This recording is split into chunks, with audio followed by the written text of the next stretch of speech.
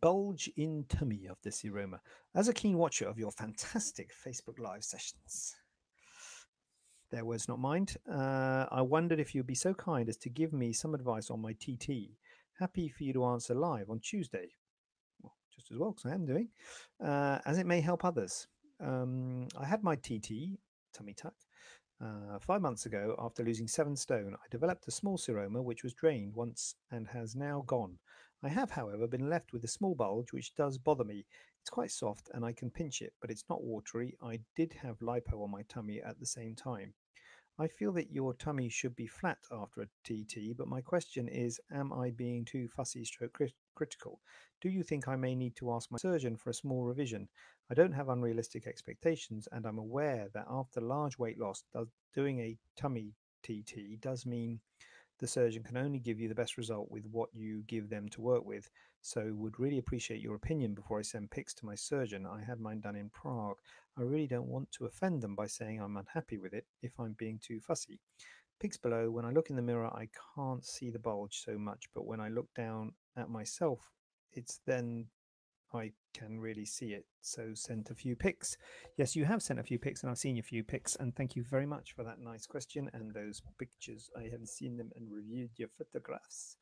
Um, so it's very interesting. This raises an interesting concept uh, of cosmetic surgery. The concept of cosmetic surgery uh, is that the outcomes of cosmetic surgery are very much driven by the patients very, uh, but despite what you might see or read in the media, um, complication rate is very low with cosmetic surgery. Infections, uh, wounds opening up, talking about those sorts of things, the revision surgery is very low.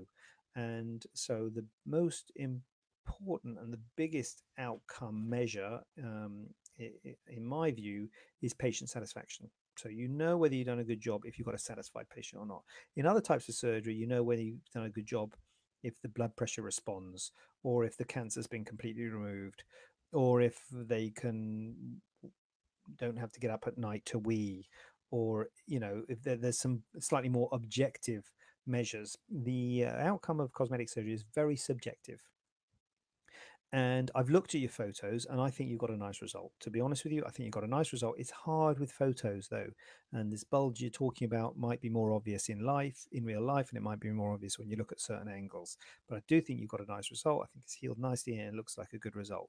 But you're not happy, you've got a bulge and you are wondering if something can be done about it. I my view is that I think any good surgeon would want to know what your concerns are and you've said here, um, what have you said? Something about you're worried about them thinking you're fussy. Um, worried about being fussy, and I might uh, being too fussy and critical. I think most surgeons will want to know what uh, patients feel about their outcome and wouldn't want someone to say that they're happy with their outcome and then to go on, you know, Facebook and say, well, you know what, it's a bit of a bulge. I'm not that happy with it really because it's a bulge and it's a bit this and that. You know, you actually I'd rather people said to me, there's a bit of a bulge. I may or may not be able to do anything about it, but at least give your surgeon a chance to say, oh, that's really easy to fix. I'll fix that no problem at all. Because then you're going to go away and say, crikey, that guy is fantastic. Because I had had a bit of a bulge. You could hardly see it. And he fixed it with no questions asked. And he was brilliant. And now I've got a perfect result and I'm so happy and I love it. You know, so we all want people to be like that. We want people to be like, oh, they're fantastic. I love them and they've done a really good job. And if you, so you, I would say, look, you've got to give them a chance to, to him or her. I don't know, whatever. Um, but you've got to give the your surgeon a chance because it might be something that could be fixed relatively easily. Um, and the the the your job is to say what you feel about the result, whether you like it, whether you don't, what you don't like about it, what you do like about it. And our job as surgeons is to say to you what can be done about that. And sometimes we say, look, you know what, I don't think there's anything can be done about it, or there is something can be done about it, but there are risks and downsides with it. I don't think it's worth the risks, or at least to explain to you what the risks are, so you can balance the risks. Um, to make a decision between the two of us as to whether you it's right for you to have revision surgery. So it's fine to express uh, um, your opinion it may be that nothing could be done, or or at least if you did something, there's risks of causing other problems, which you might be even more happy un, unhappy with, and might give you a worse result. So you might think, oh, on balance, actually, I'd rather not take that uh, risk on. So it is something that you need to talk to your surgeon about, and, and I think you would be doing them a disservice by not talking to them about it. I think they would want to hear about your concerns, and they would you know examine you in person. You can't beat an ex- in-person examination. You know it's always hard to say, to show on the photos to feel if there's a lump is there some oh look there's a lump there. I might be able to you know make a little incision and take that lump out. I don't know.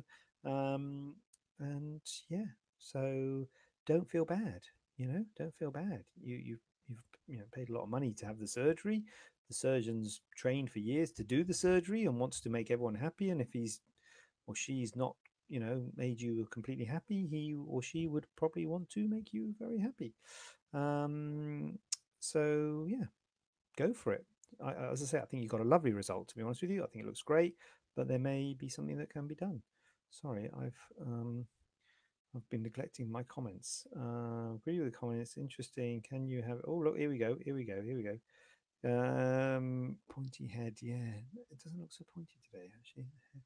Um, so, yeah, good luck with that. And I respect you. And I hope that you get